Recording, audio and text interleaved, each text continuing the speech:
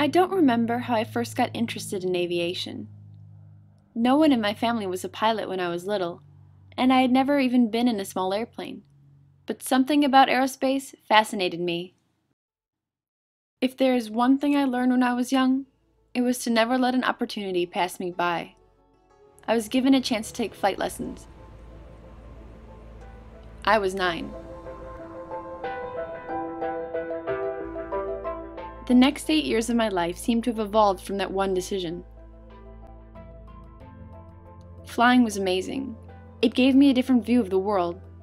It also exposed me to a new group of people general aviation enthusiasts who had built airplanes, flown in air shows, a close knit community that I'd now become a part of. Why did I design my first airplane? It was at an air show in Oshkosh that I first got the idea of building an airplane. After winning an essay competition, I was given a chance to fly the FAA administrator. Shortly after the flight, mentors within the FAA recommended that I build an airplane and then attend MIT. I was 12.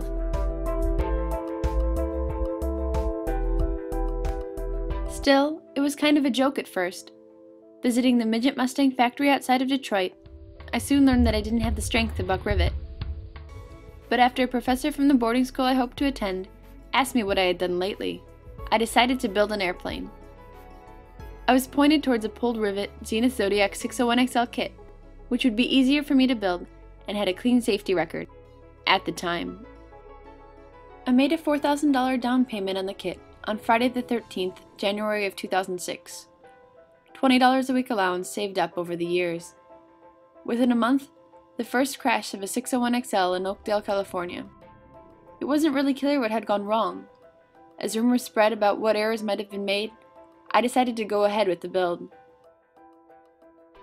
I sought help from other builders online to design modifications that would make the airplane safe.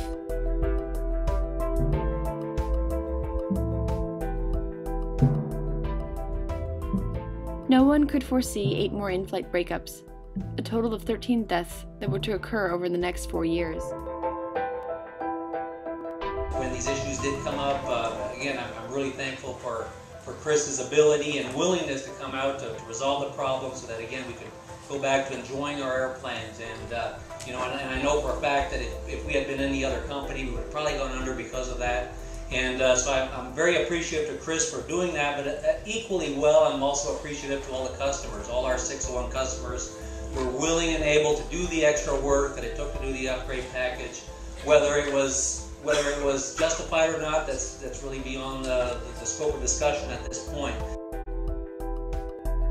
As summer starts to wind down, most 14-year-olds are gearing up for their first day of high school.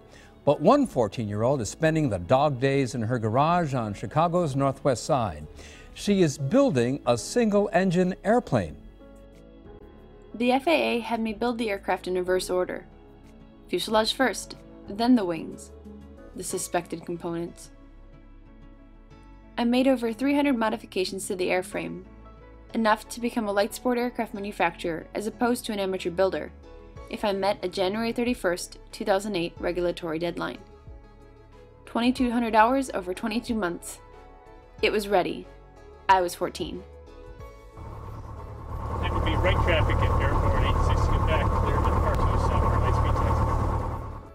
My dad was my test pilot. He first got his license two years after I started flying. It was scary to send him up in 86 Quebec, again and again, after someone had died the month or the week before. Still, I was confident in my modifications. By the summer of 2009, I was ready to fly it myself. I was 16.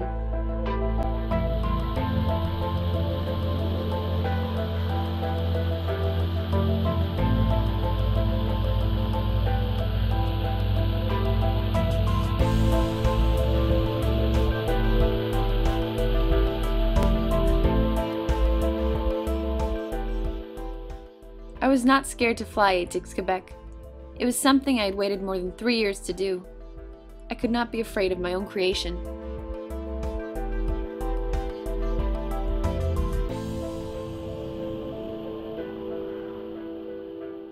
It is funny to think how I actually flew an airplane I built, the most deadly light sport aircraft ever designed, on my first US solo.